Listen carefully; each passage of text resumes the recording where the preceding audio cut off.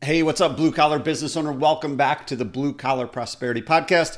I am your host, Paul Maskill, where we focus on helping guide you to have a business that produces consistent, positive cash flow.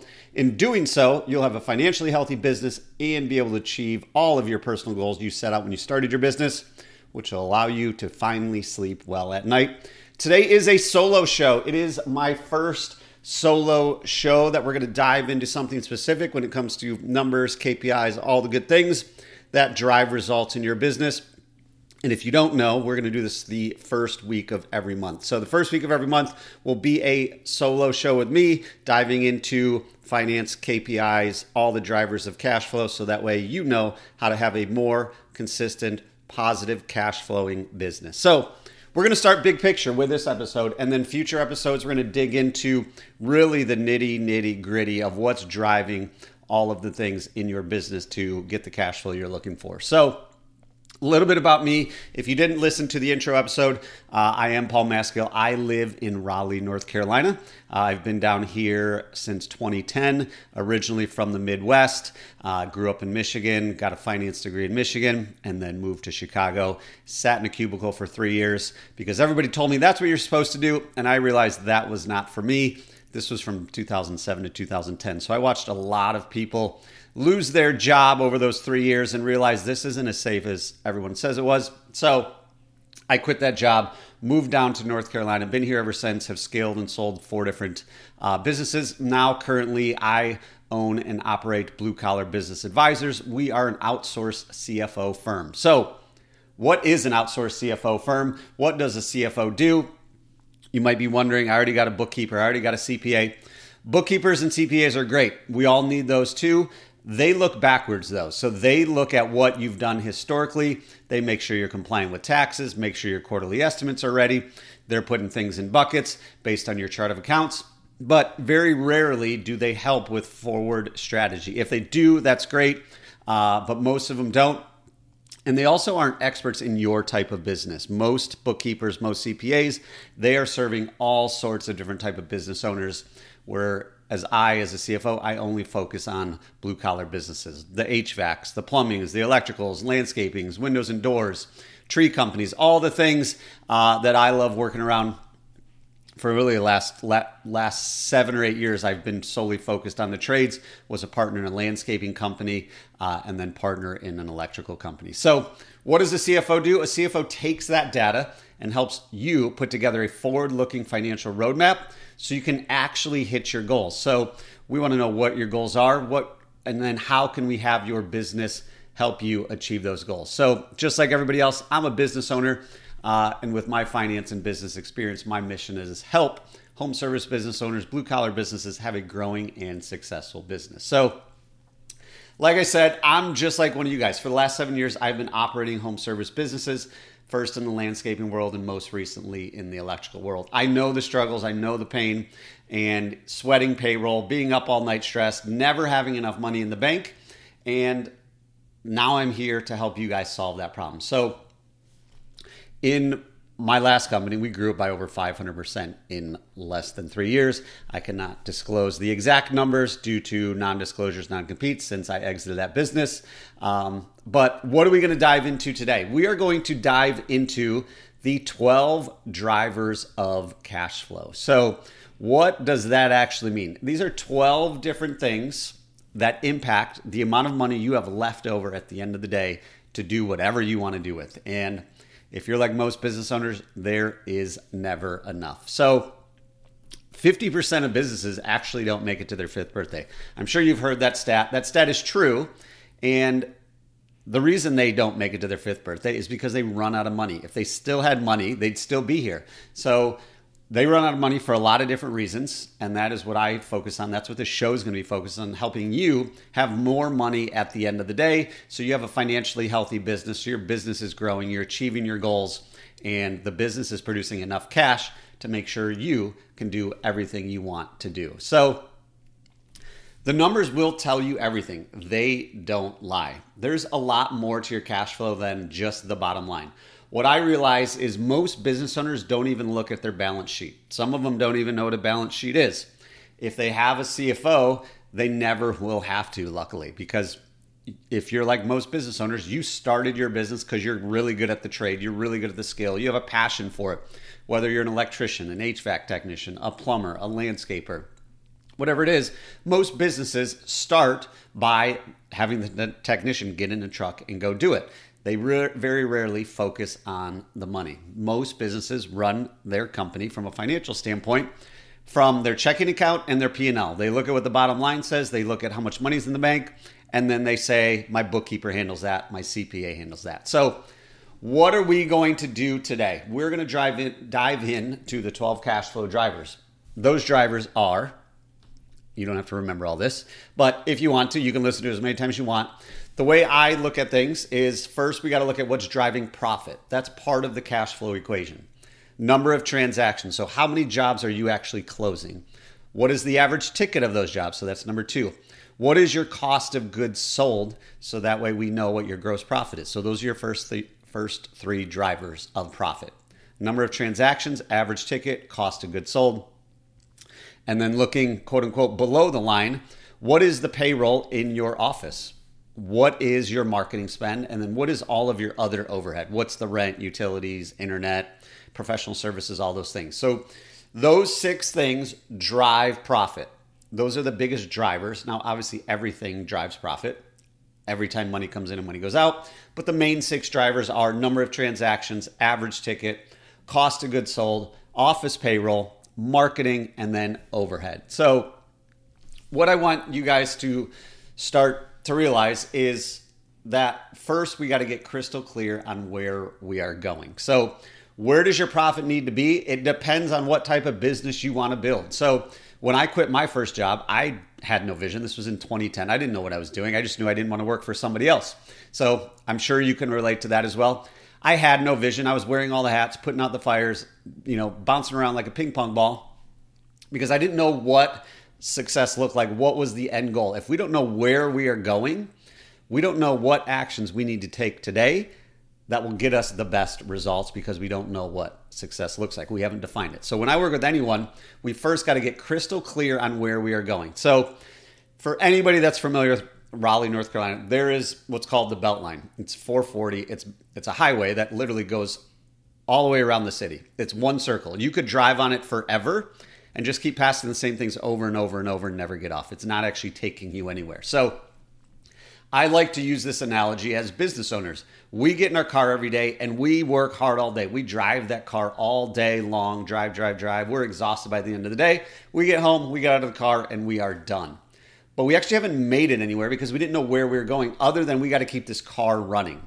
So, what we want to start to do is figure out where do we actually want to go and everybody's destination is different. Everybody started their business for different reasons, but once we know where they want to go, we can then get on a highway like I 40, which runs from California to North Carolina, and know if I'm in Raleigh and I want to get somewhere out west, I'm probably going to get on 40, but I know that I'm making progress because I'm getting closer to the destination instead of driving in circles all day. So, sorry for that little sidetrack story, but that's really where you know, I want everybody listening to this to understand is what should your profit be depends on what type of business you want to build, which depends on what type of goals you're trying to accomplish. So, going back to those profit drivers, just so you have them kind of ingrained in your head number of transactions, average ticket, cost of goods sold. So, cost of goods sold is defined as, you know, your labor and materials and anything else that's required to deliver the service that you are providing your payroll in the office, your marketing, your overhead. Those are driving, those are the main drivers of profit. Now, where most people stop is there. Well, we really need to keep going so we know what's really causing cash flow issues. Most businesses run into cash flow issues at some point, and a lot of times it's not related to profit. So, what do we look at? We then have to look at what's going on in your balance sheet. So, how, looking at our assets, how long is it taking us to get paid and how much money are we owed? So, if you're not collecting money upon completion and money is sitting out there, that makes for a very stressful business. So, how long is it sitting out there and how much is it sitting out there is a key driver to your cash flow. So, that's the first thing on the balance sheet. The next thing is if you have inventory. So, if you have paid for all of the inventory, if you have inventory, how long is that inventory sitting around? Because that's money just sitting around that you cannot use. So, how is your inventory doing? And then the last thing with assets are you buying or selling a lot of assets? Are you listening to the quote unquote experts that tell you you have to go buy a vehicle on December 31st so you don't have to pay as much in taxes because we can accelerate that depreciation. So, what are you doing with your assets? So, those are the next three things. How long does it take to get paid? How much are you owed? That's one, one item. How long is your inventory sitting around? And then are you buying or selling a lot of assets? Then, looking down further on the balance sheet, how much money do you owe people? And how long is it taking you to pay them? So, similar to being owed, do you have a bunch of lines of credit out there with your supply houses? And is it taking you forever to pay them? And then what other type of debt? So the next one, this would be number 11. What other type of debt do you have? Are you adding to it? Are you paying it back? And then lastly, number 12, how much money are you, the owner, taking out of the business or putting into the business? If you continue to put money in the business, your cash flow might be okay, but we don't want a business that relies on cash injections from the owner either. So, those are the 12 drivers of cash flow. When you have pain in your business, it is because one, two, three, four, or all 12 of these things. So, want to just kind of recap that for you guys number of transactions, average ticket, cost of goods sold, office payroll, marketing, overhead, days sales are how many days your sales are outstanding how many days your inventory is outstanding. Are you buying or selling assets? How long are you paying? How long is it taking you to pay people? So days payable outstanding. That's number 10. What are you doing with debts? Are you adding to it? Are you repaying debts? That's number 11. And the last one is owner's investments and or draws, and that's number 12. So those are the key driver of your cash flow. So if you feel pain of, man, I don't know how to make payroll this week, or man, I've got to, you know, extend my vendors even longer oh man, this is getting really tight. I don't know if I can make all the first of the month payments. Or you just don't have enough money in there to sleep well at night. Maybe you're making all of your payments, kind of squeaking by, but it's a little bit uncomfortable. It's a little bit not where you want it to be. That's what's causing the pain in your business. So, now that we know where we're going, we know where we're at, now it takes you to start making changes in those things. What I would encourage everybody, because when we wake up every morning, the fires just start coming. Phones ringing, emails ringing, ServiceTitans going off. All the things are happening. Texts are calling you, dispatchers doing this. All the things are happening. A lot of times we never get proactive in working on our business. You guys have probably heard that a million times.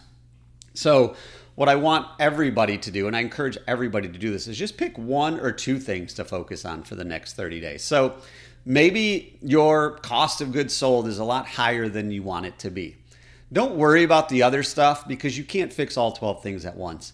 Let them continue to go as they are, and let's just focus on cost of goods sold. If you think of like, I don't know, Dave Ramsey's debt snowball theory, he said just focus on one thing until that's done so we can start to build momentum. So, in this example, maybe your cost of goods sold is out of whack.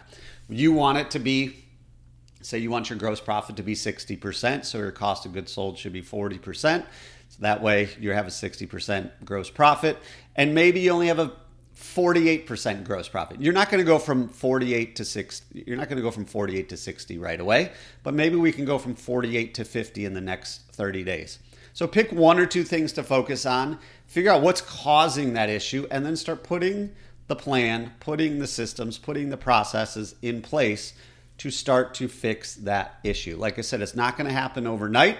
But one of my favorite sayings is the best time to plant a tree was 20 years ago. The second best time is now. So I have yet to run into a business that didn't have something it could work on. I do run into a ton of businesses that have a lot of things to work on and they don't do anything because they don't know where to start. So I would look at if cash flow is your issue, I would look at one of those 12 drivers that is causing an issue in your business and start working on that. Make sure the other ones stay where they're at. Make sure they don't get worse. But let's focus on improving one thing over the next 30 days. So I've been there before. You've been there before. We all feel like professional firefighters at some time, waking up every day, waiting for fires to pop up, totally reactive mode. There was no strategy other than survival. Just got to make it through the day, got to make it through the week, got to make it through the month. If we just get this, if we just do that, those things never come to fruition. So many people say, if we just get to a million dollars, if we just get to $3 million, if we just get to $5 million, That doesn't solve the issue. More money doesn't solve a systemic problem. We want we want to fix that problem now. So when we do get to three million dollars, we have less problems. So it's time to go. In my another analogy, go from a firefighter to an engineer. Let's start putting plans in place so we can get to where we want to go. And it starts by just taking that first step. So, kind of give you a perfect example for cost of goods sold. I was working with a plumber who was struggling with consistent, positive, predictable cash flow. So we dove in. And the first red flag was we actually didn't know if he was priced right because he had all his payroll in one bucket. So this is kind of diving into cost of goods sold a little bit further. All of your payroll should not be in one bucket. You should have your field labor in your cost of goods sold because you're only paying those people when they're working in the field. So that's a big red flag if all of your payroll's in one bucket. So let's get that fixed first. Say we want a minimum gross profit, like I said, if say 60% is our goal. First, we gotta gotta get our books set up properly. Now we do that. Now we can dive into what's causing cost of goods sold. Is it our pricing? Is our pricing not right? So actually our the direct expense of labor is okay or direct expense of material is okay we're just not charging enough or maybe we are paying our guys too much maybe they're not on performance pay or maybe they have inefficient routes maybe you're in landscaping and the routes just aren't efficient when they're mowing you know when they're doing maintenance routes or maybe your dispatcher's not dispatching them right maybe they're you know sitting around for two or three hours every day waiting for another job to go to so there are so many drivers of that but once we know what the big issue is, then we can dive into it. So that's what I encourage everybody here today. Get out there, figure out what your numbers are, and just get started. If you have any questions, I do free calls every single day. It's not a sales call, I promise you. It's simply a business evaluation. There is no sales pitch, just me paying it forward, digging into your business for 30 minutes figuring out, getting really clear on where you want to go, what does success look like, and then what's getting in the way. As Warren Buffett said, learning from mistakes are great, learning from others' mistakes are even better. So you can go do this alone, and I promise you it'll work. However, if you want to go there quicker, find other people that can help you. If it's not me, it's somebody else. But stay in your lane of what you're an expert in and find other experts in everywhere else that you need help. So, 99% of business owners started their business because they're an expert at the craft, not because they love dispatching or they love doing bookkeeping or they love marketing. They do their business because they love the craft. They love the customer engagement when fixing an issue. They love the before and after, not all the other things that are required when running a business. So, leave you with this. We talked about at the beginning over 50% of businesses never see their fifth birthday that's simply because they ran out of money. Almost all of these are preventable if you have the f- right financial guidance, right plan, right strategy, especially in the trades. There is a never-ending demand. This none of these trades are going anywhere. Boomers are retiring. So I encourage all of you guys, I'll leave it one more time. Go back to the top. 12 drivers of cash flow. What's causing the cash crunch in your business? What's causing you not to be able to make payroll or stressing at night? 12 drivers, number of transactions, average ticket, cost of goods sold, office payroll, marketing, overhead. Those are your first six. Next six, days sales outstanding, days inventory outstanding, buying or selling of assets, days payable outstanding, additions or repayments to debt, and then lastly, owner's investments or draws. I promise you guys, if you start tracking all of those things, you will know exactly what's not working in your business. The key then is to remove your ego and understand that you need to fix this and stop making excuses, stop kicking the can down the road. Dive in, get to work. Your future self will thank you. Again, that's all I got today, guys. Um, if you do want to chat further on this, just go to thebluecollaradvisors.com slash call. If you can't remember that, just go to thebluecollaradvisors.com. If you can't remember that, just look me up on Facebook, LinkedIn, Instagram, Paul Maskill, M A S K I L L. Um, but until next time, gang, make it a great rest of your day. And again, just take action. The best time to plant a tree was 20 years ago, and the second best time is now.